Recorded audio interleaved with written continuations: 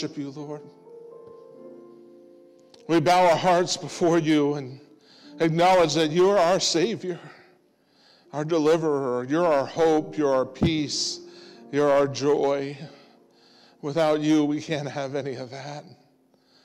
Lord, we, we humble ourselves before you today and say, We need you.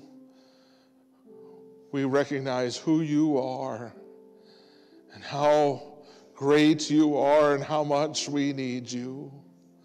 Almighty God, we ask you to come into this place and, and be with us and meet us, Lord, and, and help us to know that you are here with us. Just reassure us today. Lord, for those that are hurting, for those that are seeking, for those that need you, Lord, we invite you to come and speak to them that they would know that you're with them, that you would bring them through, and that there be no doubt in their hearts that you will bring them through. God, we ask for a, a super, supernatural touch, Lord, that only can come from you. Holy Spirit, come. Come, Lord.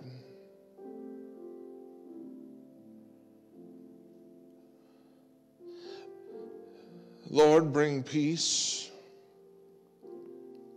and bring joy into every life that we would all know it by knowing you. Come, Lord, we pray and trust in the name of Jesus. Amen. Amen. You may be seated, and we're going to invite the Catania family to come at this time to light our third candle of Advent.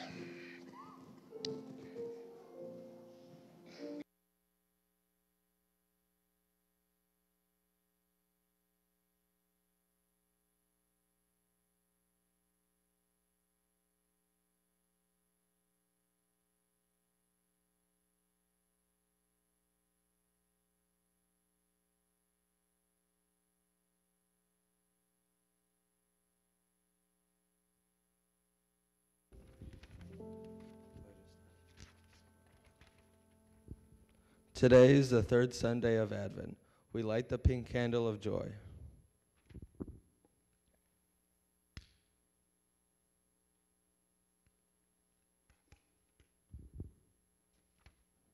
The angels of the Lord said to the shepherds, Fear not, for behold, I bring you good tidings of great joy, which shall be to all people. The great news for the Messiah has come, brought great joy.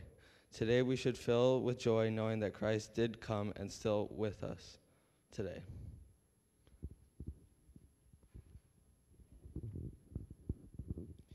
And Nehemiah 8:10 tells us, "The joy of the Lord is our strength." It is often said that the letters that spell joy, J O Y, teach us how to get joy ourselves. J comes first. It stands for Jesus. To find joy, we must put Jesus first. O is next. It stands for others. To find joy, Jesus comes first, then others. Y is last. It stands for you. We'll, we will experience the joy we put Jesus first, others next, and ourselves last. Let us pray for the joy of the Lord to fill us all. Lord, we ask you, my God, that you just give us joy, the joy that passes all understanding. We pray, Lord, that you be with us and give the joy of the world to the world, my God. And we just pray that you show them that you are the first thing we need to put first, Lord. We just pray, God, that just for every teenager that is up there that they're miserable and they're they're going through depression, Lord, that you just show them your joy, Lord. Show us the joy that you have for us, Lord, and joy to the world, Lord to everybody that is going through something, my God. We just pray that you be with us and fill us with your joy that passes all understanding. In Jesus' name we pray.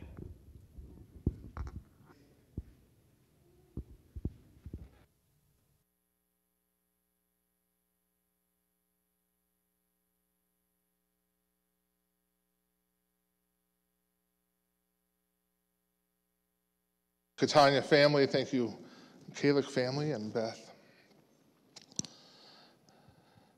And we thank God for joy. Amen. Oliver Wendell Holmes Jr. was a member of the U.S. Supreme Court for over 30 years. His mind and wit and work earned him the official title of the greatest justice since John Marshall. At one point of his life, he was asked about the choice of his career, and he said, I might have entered the ministry if clergymen that I knew didn't look and act so much like undertakers. My prayer is that I wouldn't be like an undertaker, that I would know the joy of the Lord, and people would see the joy of the Lord in me. Do you want the joy of the Lord? Through ups and downs, we can have the joy of the Lord. Joy. What is joy? It's more than just feeling happy about what's going on, because the reality is, is we don't always feel good about what's happening around us. Isn't that the truth? We don't always like the things we're going through. We don't always like the circumstances around us. And, and our happiness goes up and down with that. But joy is something that is internal. It is not contingent on what's happening around us. Joy is because of something that happened in us. Joy comes as a fruit, of the evidence of the Holy Spirit, of God Himself, His presence that is within us. When last week we talked about peace, and when we have the peace with God in our lives, hallelujah, we know that God is there with us, and we know He's going to get us through. Joy is knowing that God is here in the midst of the situation. He is going to bring us through. He has a plan. We don't understand it. We might not like the circumstances we're in, but God does know He has the plan, and we're going to get through it. Praise Almighty God. Joy John Piper defines joy this way. He says, Christian joy is a good feeling in, in the soul produced by the Holy Spirit. He, and he causes us to see the beauty of Christ in the Word and the world. It's God, it's His Holy Spirit, it's His presence in our soul. The Greek definition for for joy is a calm delight. You know, we have a calmness within us, a peace, but it's more than just a peace, it's a, it's a delight. Not only can we say, ah, oh, it's going to be okay. No, we can get a delight in us. No, it's, it, it's going to be okay. It's, it's going to be okay. Hold on. God is in us. It's going to be, it's going to be okay. Hold on. A moment ago, I thought like it was all going to fall apart in my life. This is all bad news. But now I feel, no, it's going to be okay. Hey, it's going to be okay. God is in this. And our peace turns into joy, and God begins to move in our life, and all of a sudden we can rejoice even in difficult circumstances. And I know sometimes it's hard to believe that. It's hard to say, well, Pastor, you know, there are some things in life that I know are so, so hard. And I know that. And I've experienced that. But I also know that my God is greater than any circumstance. My God is bigger than any storm. And I today celebrate that Jesus is here. That Jesus is here. And Dr. Seuss wrote a Christmas story. I think you all know it, right? Dr. Seuss wrote The Grinch. You know, the green guy who wants to steal all the stuff from the Who's in Whoville. He wants to steal their Christmas joy. Yet on Christmas morning, it says, The tall and the small sing with without any presents at all. And the Grinch, with his Grinch feet ice cold in the snow, stood puzzling and puzzling. How could it be so? It came without ribbons, it came without tags, it came without packages, boxes, or bags. And he puzzled three hours till his puzzler was sore. Then the Grinch thought of something he hadn't before. Maybe Christmas, he thought, doesn't come from a store. Maybe Christmas, perhaps, is a whole lot more. You see, you know why the Grinch hated Christmas? It's because his heart was filled with hurts and pains of the past and brokenness, and there wasn't room for joy. But we must let Christmas joy come into our lives. The joy that comes from Jesus and his presence. we must make room for Jesus and let him come in. The Christmas story, the story of Christ coming, takes place in Israel. Israel has had its share of ups and downs, of, of good days and bad days, of good kings and bad kings, of war and peace and war and peace. It's been through tough times. They've been conquered. The people had been exiled, they had been dispersed throughout the world. Eventually, they were allowed to come back, and many did, and many did not. Israel was a land, a, a people that were never the same like they were originally. Rome was now in power, and Rome was an empire. And they were the largest empire that has existed. And Israel now was split into three regions. You had the Galilee in the north, and Samaria in the middle, and Judea in the south. And the Samaritans were ones that were despised by those in the north and south of them because they intermarried with people of other faith and traditions. The Romans were in control, even though there was a Galilee and Samaria and Judea. The Romans were in control and they posted guards in the cities and kept order and control. They would arrest people. They, they charged taxes. And you had to pay them to Rome. And now the emperor, Caesar Augustus, issued a decree that everybody needed to be counted. And now everybody needed to go to their hometowns of where their ancestors were from. And so now there was this movement that was caused within the land.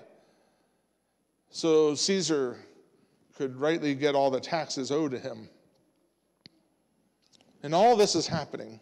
And Mary and Joseph are a, uh, a, young couple, and, and here they're a part of this story, and they have to go from all the way up north in Nazareth through Samaria down to Judea to the town of Bethlehem, because that's where Joseph's family's from. And when they arrived in Bethlehem, all the guest rooms of their ancestors' homes were full. And Mary, in the midst of all this, gave birth to a son who God foretold, and they called him Jesus. And she laid him in a feeding trough, a manger.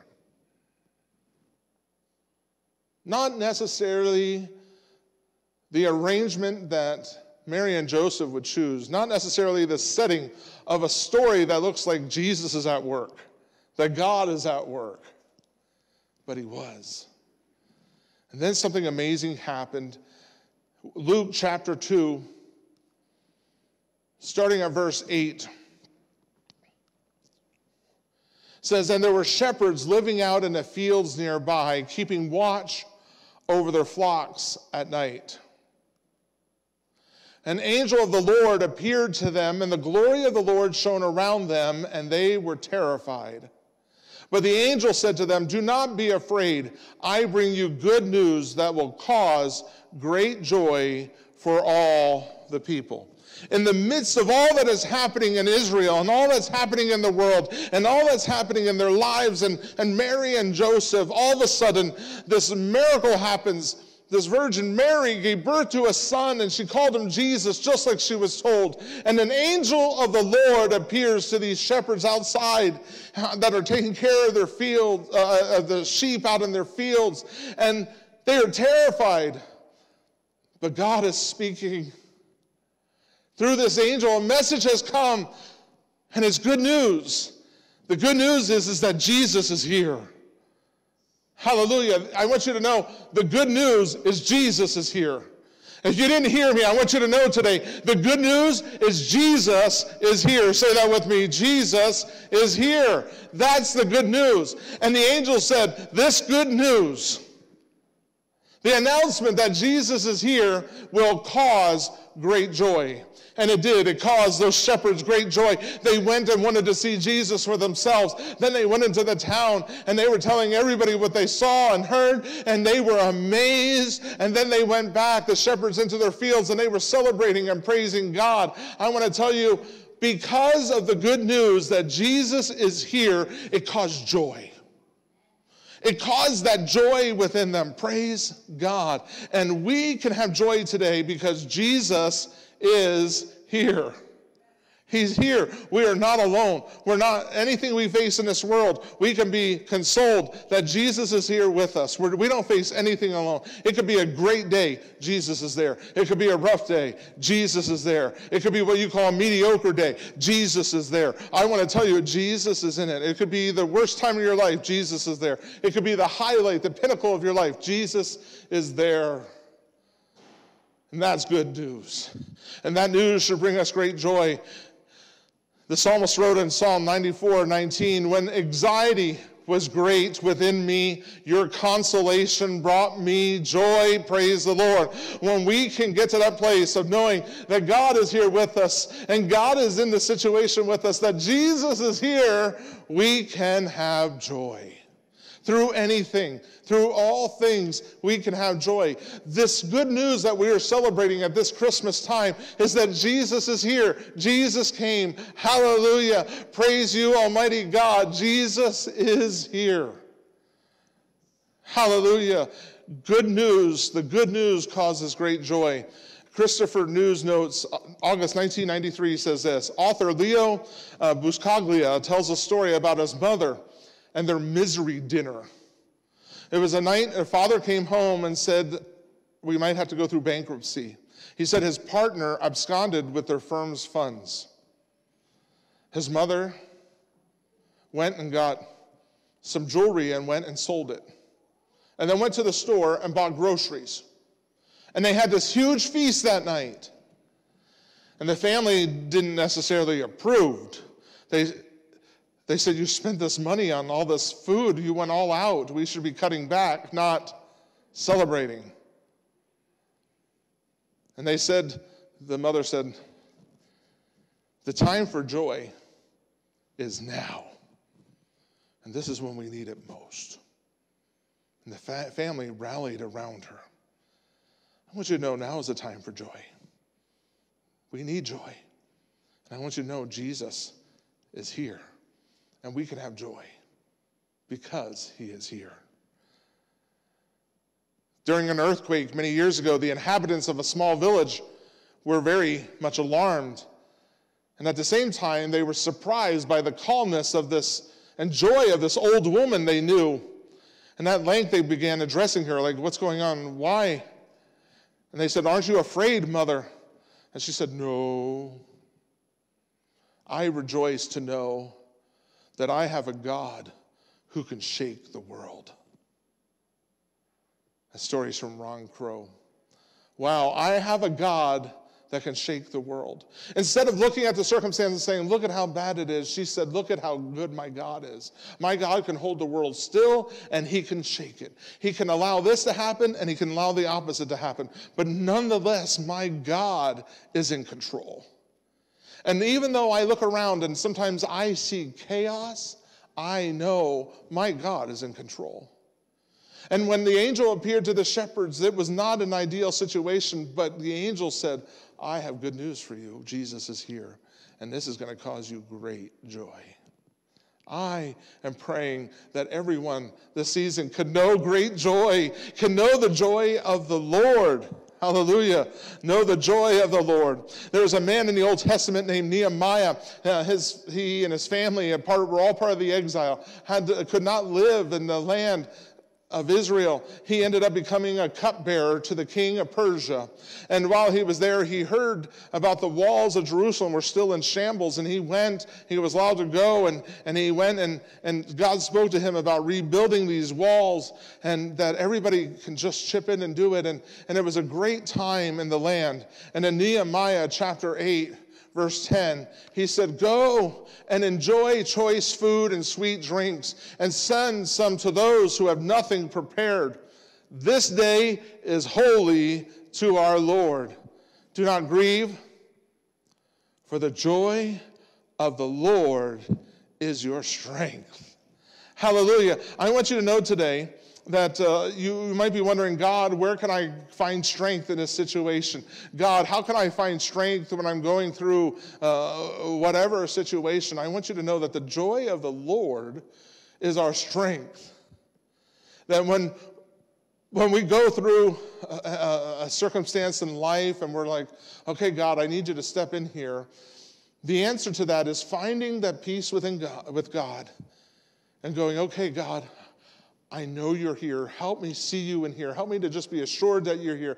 God, I know that you're here. Let me rely on the good news here. Let me just dwell on this good news for a moment because I know the good news will bring joy. And when we can start saying, "Oh God, I know that you're in this. God, I know I know you're in this. God, I know that you're here. Praise the Lord. I know Jesus is here." Our attitude begins to change. And all of a sudden we have a renewed strength in the Lord. For the joy of the Lord is our strength. In the Buckingham Palace, um, up until 1997, it was said that when the royal standard, when the flag was hung, the queen was home. And if the flag wasn't there, it meant she wasn't home. It's changed since then, but that used to be the, the standard. And a man named Robert Rainey said this The joy, joy is the flag which is flown from the castle of the heart when the king is at residence there. In other words, when, when we have the king in here and we know that the king is home, when we know Jesus is there, then the banner, the flag is flying, and that banner is joy. That banner is joy. The king is here. The king's home. He's here. You're going through a difficult time, but the king's home. The king's here. The king's here. I want you to know, and you might be saying, I'm not going through a difficult time right now. Praise the Lord. Is the king home? It could be better. I want you to know, no matter what we go through, we need to let the king take residence and dwell within us and live in us and be in us because then we will have a banner hung over us that says joy.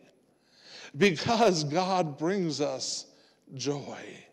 God and his residence, his, his place in our hearts brings joy. Amen. Can, can you say that you experience that today? Can you know joy? Do you know joy? I want you to know you can know joy. You can have joy in this season. You can experience it because what you're experiencing is, is God. And all you need is Jesus. And if you can say, Jesus, come in, Jesus, help me, Jesus, just fill me, and you just start focusing in on Jesus, I want you to know that He will come in and He will bring you peace and He will bring you joy. It says this in 1 Peter 1 8 through 9 though you have not seen him, you love him. And even though you do not see him now, you believe in him and are filled with inexpressible and glorious joy. For you are receiving the end result of your faith, the salvation of your souls. I want you to know, you know that He is here. When you can say, I, I don't see Him, but I know He's here and I believe. And when we can say that together, and when we can say that our faith is in Jesus, we experience salvation. We are not in bondage to the things that are happening around us. We are not in bondage to the stuff that's going on in, in the world. We are free of our sins. We are free of those things. And we can know inexpressible and glorious joy. Hallelujah. Isn't that good? Isn't that good news? It's good news for all of us. We're talking in a series about the gift exchange. I want you to know we go through life and there's two, we go to and fro like waves, and sometimes we're being tossed. Sometimes the wind is blowing. Sometimes it seems like the waves are crashing. I know, but I want you to know every day we don't know what's going to happen the next day. But God is with us, and if we can say God is with us, we're going to be okay. And so in this gift exchange, we can say, God, I'm feeling sorrowful. I'm feeling weary. God, I'm feeling depressed. But we could say, God, I don't want that. I want to give that to you. And God will say, I will give you joy. I will exchange those things for joy. Wouldn't you want that? Our God is good. Mary and Joseph went through times of oppression, times of uncertainty, times of taxation, times of moving, times of poverty, times of sorrow and weariness. But the angel said, Hey, I have good news, and it's going to cause great joy in the midst of all that. Joy, joy, joy. Jesus is here. Jesus is here. And that's why we celebrate. Let's bow our heads. Oh Lord God, we praise you this morning because you're here. We praise you this morning because we are not alone. We praise you this morning because you have arrived. And Lord, if there is somebody that is listening today that does not know you, that doesn't have you in their heart, that they can't say, Jesus is inside here, Lord, may they right now in this moment say, Jesus, I want you to come in. So that they can hold the banner of joy above their heads and know what it is to face uncertain times, but still know that you are in control. God, help us today. Lord, if, if we've gotten distracted or gotten weary of the things going on around us, if we've let them pull us down, in the name of Jesus, help us not to. Help us to trust in you. Almighty God, we, we have faith in you. Help us to have greater faith. God, we ask you that everything that is said, everything that is done in our life would bring you glory, and that we would make room for joy. Lord, we ask that you take away the hurts and the pains, any bitterness. Take it all from us. Lord, we don't want it. Help us to be filled with joy. We give you thanks for hearing our prayers. It's in the name of Jesus we pray. Amen.